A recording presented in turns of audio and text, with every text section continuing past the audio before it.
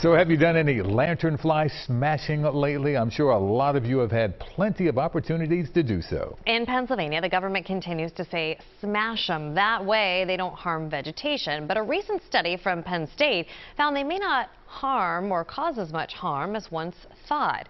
John Shumway takes it from here. Have the pesky visitors found you yet? They certainly are out there, but it turns out they have a very specific appetite Oh, there's only a few different hosts that it stays on for months and months, which is what it takes to really cause severe damage. A quick visit to your yard won't do it, but Penn State lead researcher Dr. Kelli Hoover says certain plants are definitely in the crosshairs.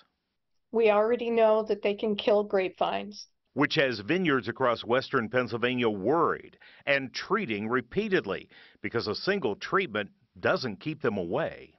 The other is tree of heaven, which is a invasive plant. So, Dr. Hoover says no great loss. It's a nuisance killing a nuisance. But as for your trees that provide the shade in your yard? For the most part, they don't stay long enough to cause enough damage. So your well-established trees will be fine. It's the young saplings that could be harmed. Penn State learned all this with four years of controlled study where lanternflies were trapped with trees and couldn't move on, although they certainly wanted to. Under normal circumstances with your healthy grown trees, Dr. Hoover says, even if you get a, a large infestation on your maples, they are only going to be around maybe a month. That was John Shumway reporting.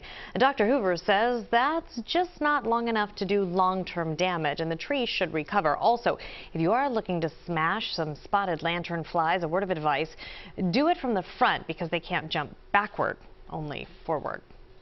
I don't have time to think about that. I'm just going to... You just have to walk around them. Step on it.